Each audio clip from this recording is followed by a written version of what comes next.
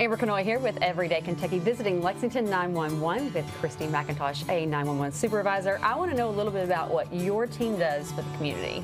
My team does everything. It could be uh, from giving someone directions to a lost motorist to we get structure fires. Um, we've had officer involved shootings, homicides, any emergency or non-emergency thing that comes through our lines, we handle it.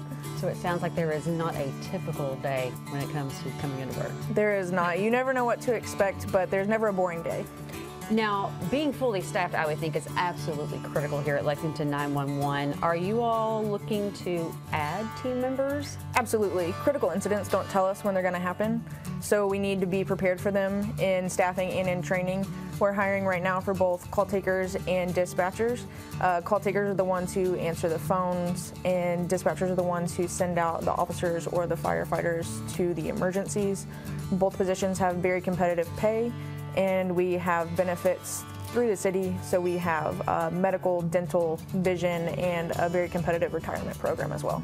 So if somebody's really wanting to make this more than just a, a job, so to speak, they're wanting to make it a career, what are some critical characteristics or skill sets that you all would think would make them really thrive in this setting? They really need to be hardworking. They have to be dependable and flexible. Um, you're never going to have an easy day.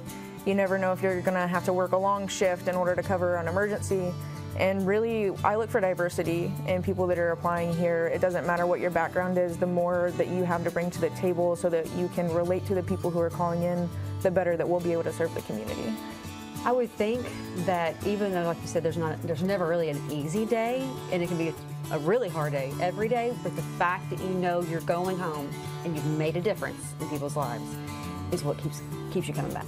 Absolutely. Um, there are several calls that I can think of where I talked to someone who was having a really hard time or was thinking of harming themselves or harming someone else and just being the voice of reason to them and intervening until we could get responders on scene, it makes you really feel like you've accomplished something special. All right, well, I was going to ask you, like, you know, why do you keep coming back? But it sounds like you answered it for me. So now just the question is, where do they apply?